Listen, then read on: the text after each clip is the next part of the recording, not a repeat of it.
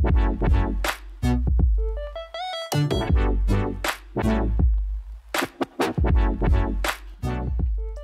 to another episode of Grell Sound Lab. So I'm back here again with Axel Grell. And today we'd like Hello. to talk about uh, frequency response. And uh, unfortunately, it's a topic where we can't fill you in in five minutes and you are a master and know everything. But uh, we will give you like uh, piece by piece some some information that may help you uh, how to say, discern information on the internet a little bit better. Basically, the core of the issue for us is that every acoustic engineer uh, that I know would probably prefer an electrostatic headphone to some $100 dynamic driver headphone. Even though the dynamic driver headphone may be very well tuned, there's still a lot of information in the sound that cannot be really reflected in the frequency response. And the funny thing is, some things like a larger drive or an angle, it may leave an artifact in the frequency response. So you see it in there, but it is not that this artifact then reproduces exactly that sound. That is very important to keep in mind. It's not like that um, there is no interaction at all but to say that the whole truth is in the frequency response is uh, very much simplified down. So that is just an opening. And the other factors are, of course, like driver angle and size I just talked about. Um, that, then we have the acoustic impedance we love to talk about so much, um, so that it's very, very open and there's very little reflections in the ear cup. Um, and we'll also talk about that more in the future, of course.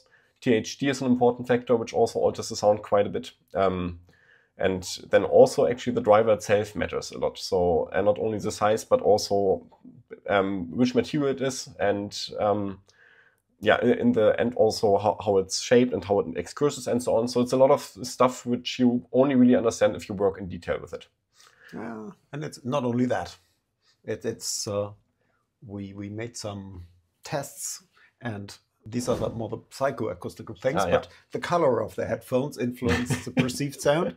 So when it's black, it's perceived uh, more bassy, darker, not that much with heights, and when it's more silver, it's uh, yeah perceived more yeah there are more heights and, and so on, but not that much a uh, high amount of bass. And yes, when the ears are touched, it calls more muffled, and when the ears are not touched by something, it sounds more open. Things like that play a big role as well. Yep. As an addition to what you just said is uh, the electrostatics. Yes, so big diaphragm headphones, so like some electrostat planar drivers or headphones with planar drivers are like that. But so an approach to achieve something very similar is uh, the ring radiator and the HD800, where the sound radiating area is very big as well, but with a dynamic driver. Yeah, there are many different approaches. So uh, this one is another one where the driver size itself is not that very big. It is compared to others, not small, but normal. But the sound field is radiated towards the ears and not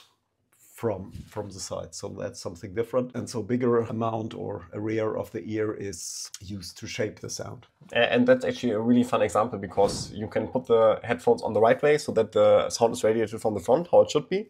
And you can obviously put it on the wrong way, and then it obviously sounds extremely different. And also the measurement is very different. But then if you say only frequency response matters, then you could try to equalize it if you put it on the wrong way uh, to, to, to the right frequency response. And I promise you, you will never manage. It, it will always sound different. That's yeah.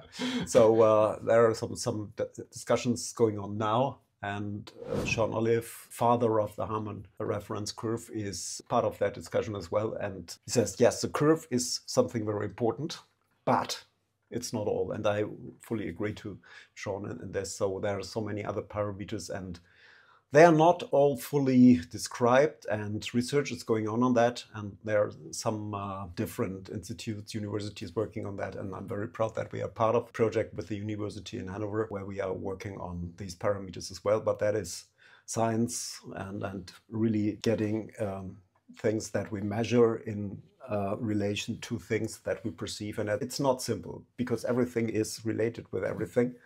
And to just look at one parameter and change that parameter and see what what's happened, then it's it's not that simple as one can think. Okay. Yeah. Yeah, uh, I guess then uh, with that out of the way, which was already quite a long introduction, we'll just dive into uh, like frequency responses in general. So one thing is sort of the importance of some things you see in frequency responses. And what I have here is a frequency response of an uh, Sennheiser HD250BT, uh, which is a product I worked on and which I think sounded fantastic. Um, it's unfortunately dis discontinued now. um, but it has a bit of a dip at roughly 4 kilohertz. And if you just look at the frequency response, you could get the idea of, well, it's uh, actually, it's, uh, it looks sort of balanced, but um, well, this dip is not perfect. Maybe it's not, uh, it's a bit grainy in the treble or something like that. And the reality is, especially in that frequency range, if you have just a very, very tiny trough, then it is barely audible. So it's really, really hard. And even if you're very experienced, then you need a very specific song or something to, to usually notice something like that.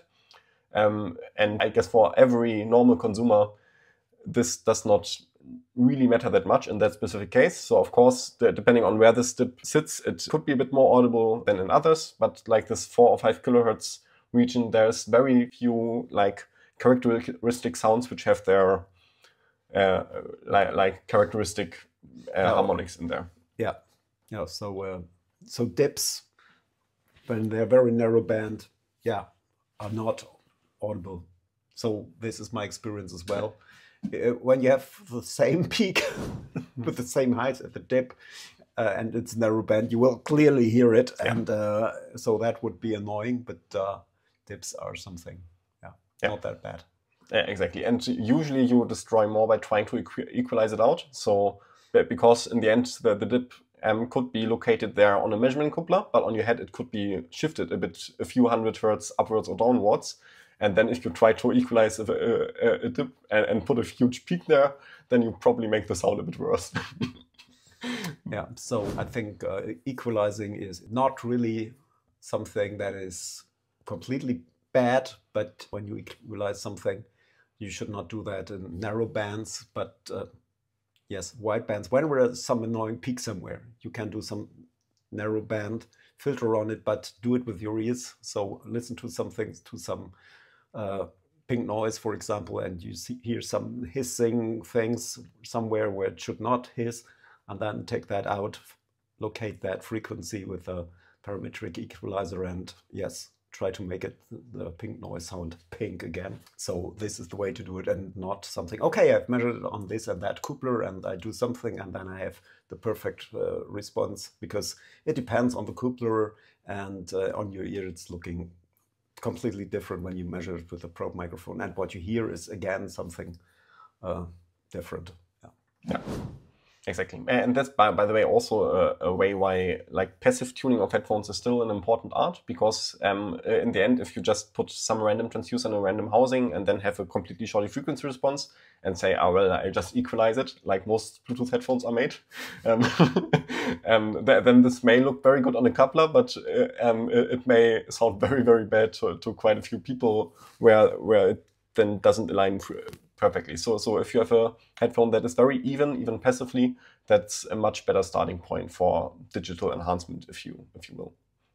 And not only for that, um, for ANC as well. So when uh, the frequency response is even more or less, the phase response is good as well. So when it's not something like a lot of resonances and whatever, and uh, the phase response is something very, very important for the stability of the ANC. And so it's good to, uh, to know how acoustics work and do that in the proper way, the acoustic tuning. Yeah. So that's just a, a brief excursus on li like dips in frequency response. So uh, the next one is something that unfortunately just requires a lot of experience as an acoustic engineer. So there's um, the, the case of the HD 820, which on many measurements has, uh, so uh, not everyone is a fan of that headphone, that is fine. Um, and I have the feeling that it is partly because it measures a bit oddly. Um, and one thing is, which occurs on a lot of measurements, is that it has a bit of a dip also at like 60 hertz or something. Um, and uh, the the funny thing is that this has also translated then to reviews and to comments and so on. And people will say, yeah, the headphone sounds weird because in the bass there's a 60 or 70 hertz dip, and that's very bad. And then there's reviewers that also take their own measurement with that dip, and then they recommend to equalize it out. Um, and the funny thing is then on RTINGS, uh, which is a website which does basically evaluations just on objective measurements, they have found that uh, like bass responses, they just vary so much by person that they started to just use really uh, in-ear microphones for the ba bass response on a number of individuals yeah, to give you an, microphones. Yeah, yeah. So so to give you an accurate reading of the actual bass response of a headphone because they found normal measurement heads just don't do it justice. It's just so, so different from normal people. And if you look at the RTINGS measurement of the HD 820, then magically you will find that there's no dip. That's uh, that's um, that's very interesting, isn't it? yeah. Are you interested why there is a dip in the measurements? Okay, you have a closed type headphone on a yeah hard coupler, so it's not skin and bones and so on and so on. And uh, yeah, so when there is sound pressure, this uh, pressure moves the whole thing, and there's a spring, and you have a resonance of the whole system. And uh, on this hard thing, yes, it the energy is not absorbed by anything. A little bit by the ear pads and a little bit by the headband, yes, but it's not the same on a real head because the skin absorbs much more. Uh, so the coupling to with hair and everything to something absorbing is much better, and so the dip is not really there on a real head. And so Eltings or Artings, uh, I think, uh, is doing a great job. Yeah and they are they have found a, a, good way to find the right frequency response in that range. Yeah. Uh, I, I, also pull up a little Reddit comment here, which is also talking at length about the HD 820, why it's maybe okay or not okay. And then one, one snippet of it is uh, at the same time, the 80 hertz notch will make some bass lines or kick drums less solid. And obviously, that will not happen on, on his head uh, unless he is a measurement coupler. And now there's two options. So either he's never listened to it, um, and, and, then he's just repeating something he's seen somewhere. Um, and, and, in that case, unfortunately, it's a bit of a clown move to do that. Um, so sorry for that. Um, the other option is that maybe he listened to it, but looked at the frequency response beforehand and then just imagined that to be there. And that is unfortunately also something that happens, that our visual perception is much, much stronger and dominant than our auditory system. So if you see a frequency response before listening to a headphone, then you're always, always influenced. And if you see there, oh, it has a lot of treble, then it, you will hear it for sure, whether that's on your head there or not. Yeah, so as a recommendation, and I do it all of my life when I get a new headphone and I should say how it sounds or how, how it is, how the quality is. The first thing is I put it on my head and listen to it with music that I know very well and equipment that I know very well. And after that, I start everything else measuring and, and so on. And then from the measurements, I might understand better why I have these impressions that I hear, yeah. but not the other way around. Yeah. So very, very professional people who are really working with headphones or acoustics, speakers, whatever, can divide. So I've seen that, and and uh, because they know that they are wrong when they say, "Okay, I've seen that, and it sounds like that." So, but uh, when you're a normal listener, it, and and I do it by the way, exactly the same way, listening first and then measure. Yeah. Uh, or also when doing test listening, you always get from the acoustic engineer just three samples and they tell you, what do you think? And, then you have to listen. And then afterwards, you give them your impression uh, and you see the frequency response measurements. And sometimes you uh, see something very different than you thought. Um, yeah, and that brings me sort of back to the purpose of frequency response measurements because they are the most popular way of evaluating headphones without listening to them, which is a bit unfortunate in my opinion. Um, but in reality, I think the main purpose of a frequency response measurement is in the hands of an acoustic engineer to evaluate whether the changes he or she makes uh, has intended quantifiable changes they intended. That's the hard truth. So um, in the end, it is still too simplistic to give you a full image of that. It gives you a rough overview of the balance of the sound, uh, I would say, and it can give you hints of problems. But not every little thing you see in a frequency response is a sign of bad sound. Yeah, I think uh, when creating a headphone, you need to have a yes sound that it should create in in your mind, and then you try to yes tune the headphone to sound like that. And as you said, you put it on a coupler, and it doesn't matter what coupler it is. So you are coming from one frequency response that you don't like and where you think, okay, I need a little bit more here or a little bit less there. And then, then you are doing the acoustical tunings and you see on the coupler it's getting in that frequency a little bit less or where you want or where you don't want and you say no that's a wrong frequency range i need to go a little bit lower so maybe longer tubes or whatever is necessary and you get the right result in the end and on the screen you listen to it and say yeah, close, but it's not that. So it might be somewhere else. Yeah. And, and this is the loop you're going, listening, measuring, listening, measuring, and so on. Yeah. Uh, I, I, think we are done with the first part of the discussion, so I promise you we'll make a few more videos on it. But but the problem is the topic is just so big that we'll have probably like a five parts in the end or something. And it's something where you just need to collect more and more data points. So there's, as I said, no one formula, but there's this uh, thing with the standing waves. There's uh, the idea of dips not being so so problematic in some areas and so on.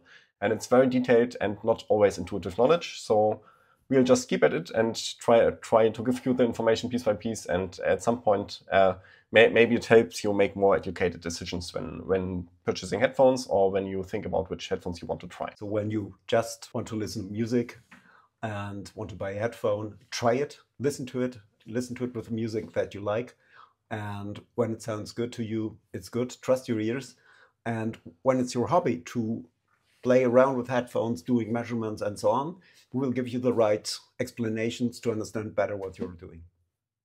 Yeah, exactly. So thank you so much um, and have a happy new year, hopefully. So uh, we are just before Christmas here in Germany and uh, we're looking forward to, to some time off, but we'll be back certainly next year and uh, yeah, do the next part. Bye bye. Bye bye.